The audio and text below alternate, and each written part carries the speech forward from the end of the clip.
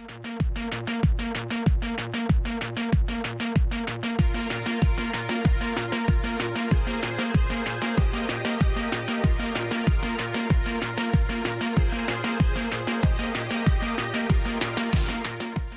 Elections Officer refuses to meet with parliamentary parties to discuss readiness for snap elections. Peter Ramsaroop scolds pro-government media over fabricated reports about the Charandas Persaud yes vote. Two held for beating to death of Corentyne carpenter. And in sport, West Indies Test skipper Jason Holder returns to international cricket later this month. These and more right now in this our Saturday, January 12, 2019 edition of News Update. Good evening, I'm Sandy Ramutar. Thanks for joining us.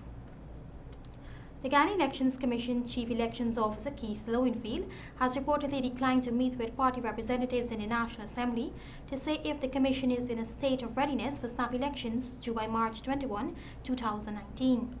Following an agreement between President David Granger and opposition leader Bharat Jagdeo, opposition's Gail Teixeira and the government's Amna Ali were supposed to meet with GECOM officials, but Lowenfield instead asked them to write the Commission's chairman, who is on protracted sick leave. Here is that story.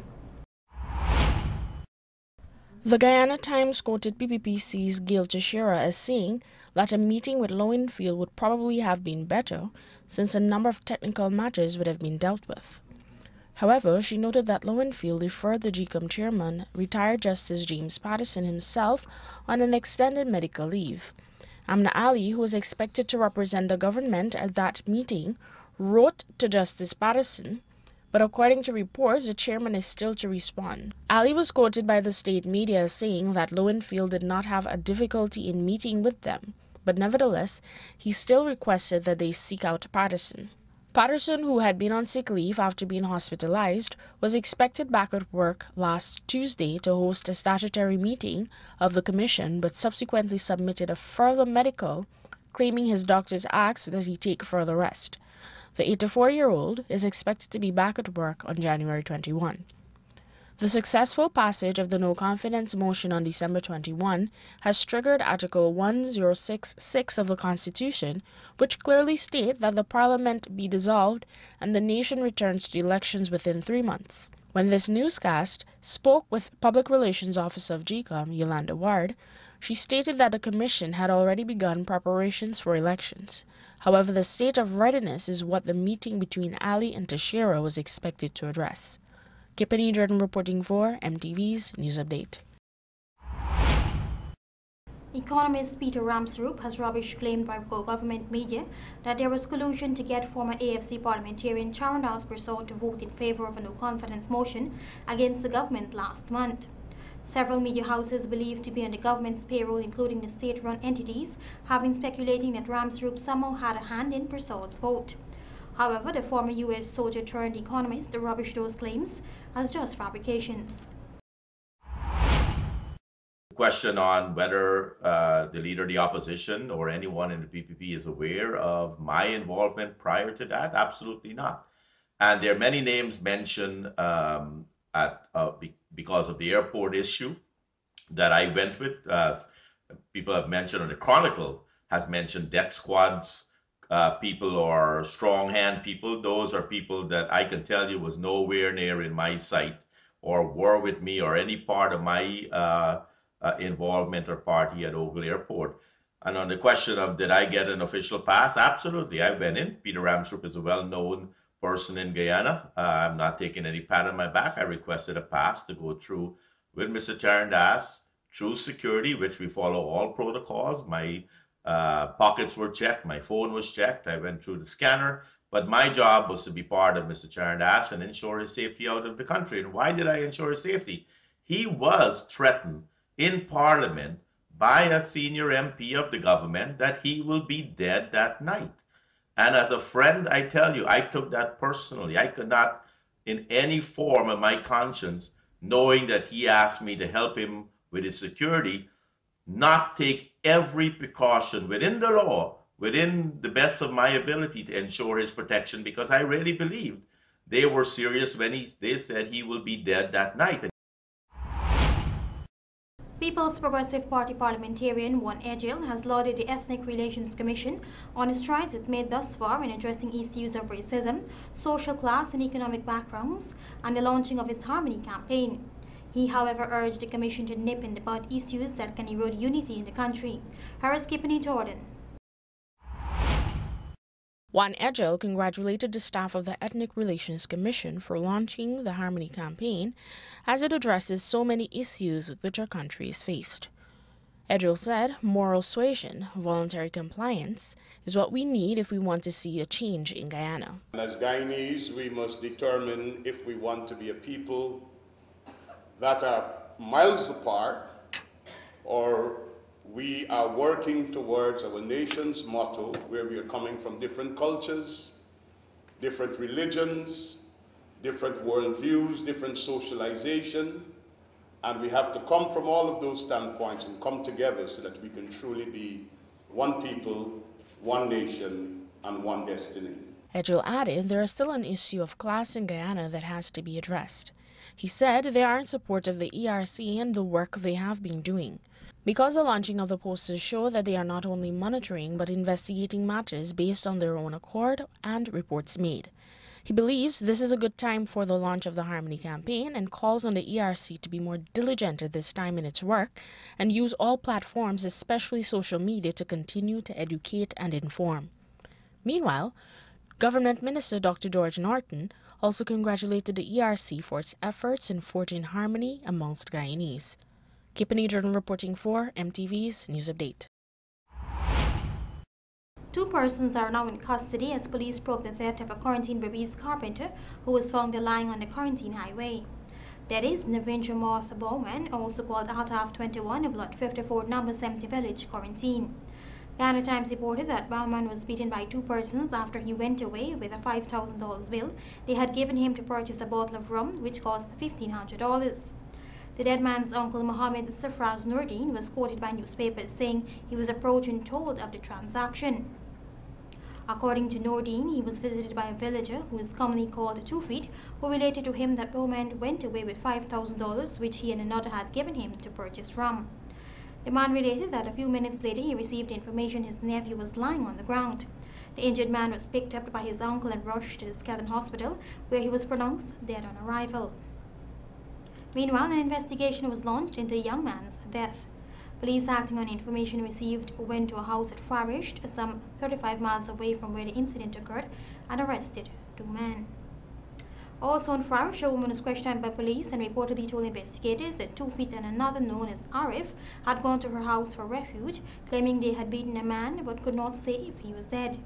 The two suspects is in police cooperating with investigators. You're watching MTV's News Update. More news after the break. Stay with us. Modern Optical Service has made it even better by introducing its budgeted spectacle line, starting as low as $10,000 for single vision lens and $12,000 for bifocal lens, available in tinted or clear, complete spectacles at affordable prices. So hurry down to our main office at 316 Middle Street or Lot 14 Diamond Public Road opposite Demerara Bank. Enjoy over 60 years of eye care experience at affordable prices. Modern Optical Service, your eye care professionals. Introducing the new Softex toilet tissue, now available across Guyana. Softex is silky smooth because it's made from virgin pulp. Softex is soft and gentle to every touch. Even babies can use it. Manufactured and distributed by BPATS Paper Manufacturing, Eccles Industrial Site. The choice is clear. Choose Softex toilet tissue. Super soft and super durable. Guaranteed. Secure your property, secure your life. Get the best security service from us at KGM Security Services Incorporated. Highly trained armed and unarmed officers at affordable rates.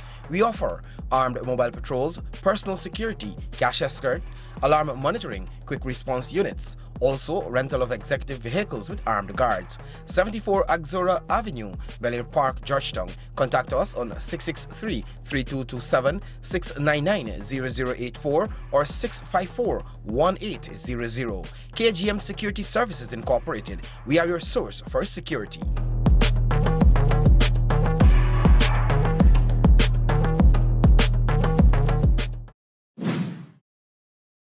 Welcome back. You're watching MTV's News Update.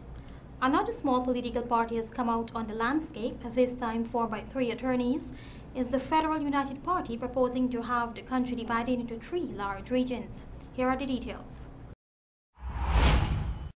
With Guyanese preparing to head back to the polls in March for snap elections, new small political parties are emerging. The Federal United Party was launched yesterday at the Central Corentyne Chambers of Commerce in Berbice.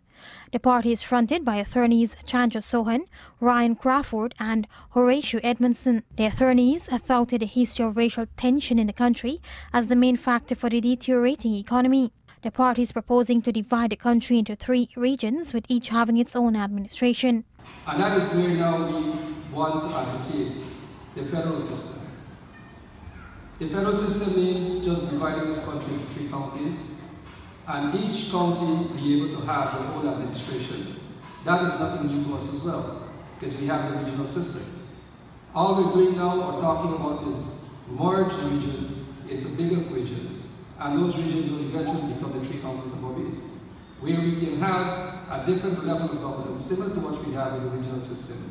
But yet, the objective now is to take away the power or the control of central government as we have today.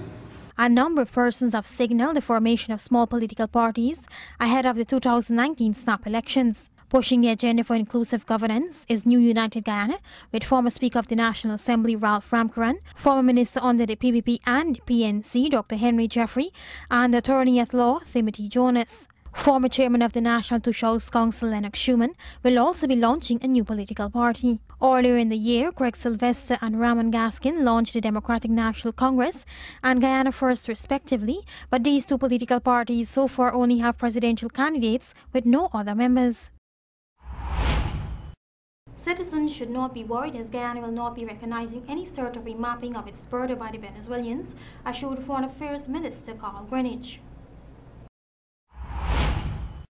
Minister of Foreign Affairs Carl Greenidge has assured citizens they have nothing to worry about in response to Venezuela remapping land ownership. The Bolivarian Republic is expected to conduct a seismic survey in the coming months, which will include eastern areas that borders Guyana. In a release from the Department of Public Information, Greenidge says any mapping from the country will be deemed illegal. Venezuela is looking to remap to show ownership of lands and maritime boundaries owned by Guyana according to the 1899 Arbitral Award.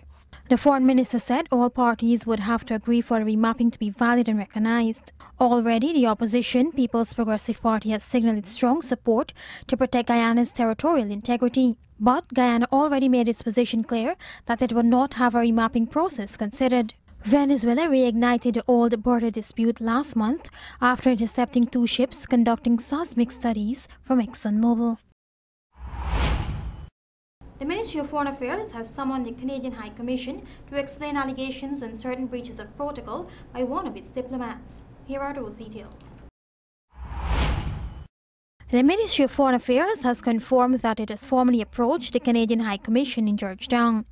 The Minister of Foreign Affairs, Carl Greenidge, will be seeking an explanation on certain breaches of protocol by one of its diplomats. It was claimed that the diplomat breached protocol when he escorted ex-parliamentarian Charandas Persaud to a flight on December 21, 2018. The now expelled parliamentarian left on a late flight to Barbados the following day, hours after he voted in favour of the opposition-sponsored confidence motion. The ministry in a statement said the two parties were engaged on Monday and subsequently Wednesday and Friday. The process is ongoing and the ministry is working with the Canadian High Commission to ensure that the matter reaches a satisfactory conclusion. The ministry may declare that it is duty bound to seek clarification on reports of breaches of diplomatic protocol by a foreign mission.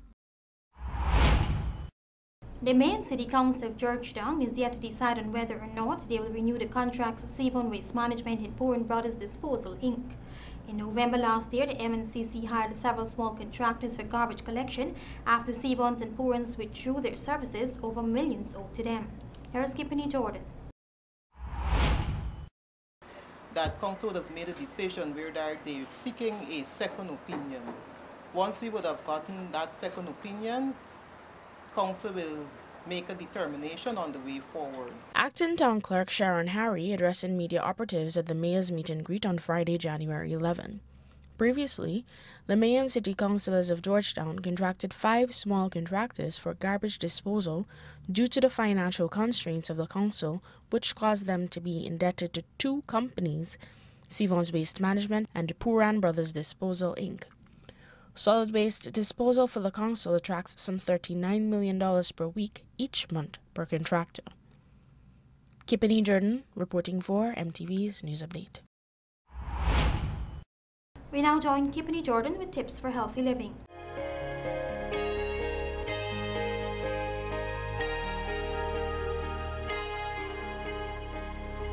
It's cherry season again. They're fresh, plentiful, beautiful, and delicious. But you may be wondering are cherries actually that good for you? The answer is yes. 100 times yes. Cherries are not only one of the healthiest fruits, they also rank as one of the most health protective fruits overall. One cup, or about 21 cherries, contains less than 100 calories and 15% of your daily vitamin C needs.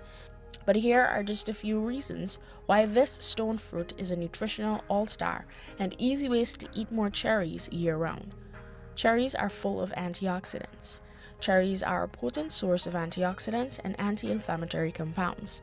These cellular bodyguards slow down aging and ward off chronic illnesses, including heart disease, cancer, Alzheimer's disease, diabetes, and obesity. They promote healthy sleep. Tart cherries, in particular, are one of the few food sources of melatonin, a hormone that helps control your sleep week cycles. And finally, they curb cholesterol. Research has shown that drinking tart cherry juice can help lower total cholesterol, including the bad type known as LDL.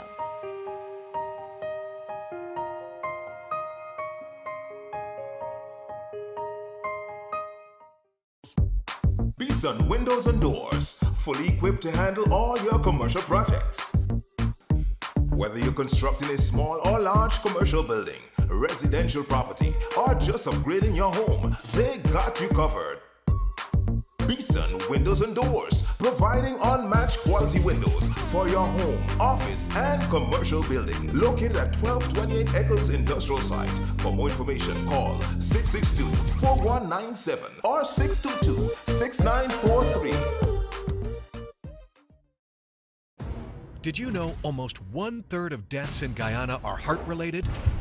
Chronic inflammation is the root cause of atherosclerosis, the process that leads to cholesterol clogged arteries.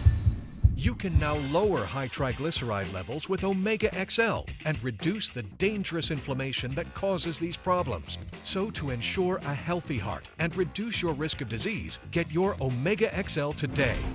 Live long, stay strong with Omega XL.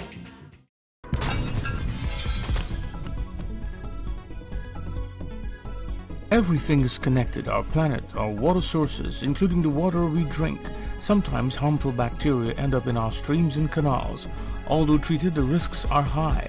You can prevent this pollution and contamination by maintaining your septic tank and grease traps. Call the experts at Puran Brothers Disposal Incorporated on 264-1239 or 603-5050. Keeping it clean is what we do best. You can be a millionaire by only spending $100 on a Daily Million ticket. Simply pick any five numbers from 1 to 26, or you can buy a quick pick for your chance to win the Daily Millions. Purchase your tickets daily, Monday through Saturday, to get a chance to win $1 million every day. So, Feeling lucky? Then buy a Daily Millions ticket today. Remember, a ticket today could make you rich today.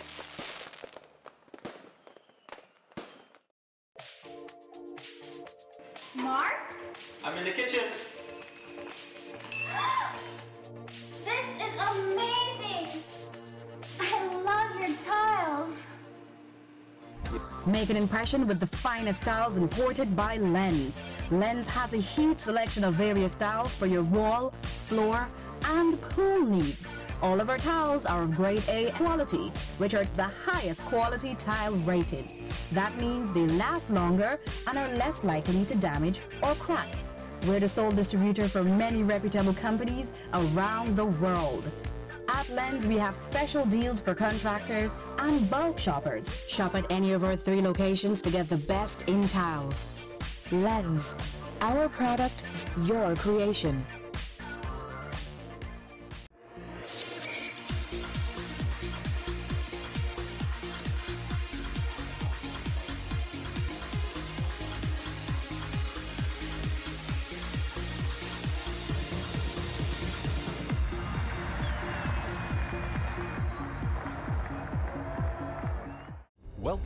Industrial Supply of Guyana Inc., Guyana's sole distributor of NP and Ultra lubricants, SKF bearings, seal and belts, international trucks and parts, and Napa batteries. With a bond capacity of 30,000 square foot, we offer superior brands at affordable prices and the best after sales service. ISG supplies sustainable integrated solutions to make your business a growing success.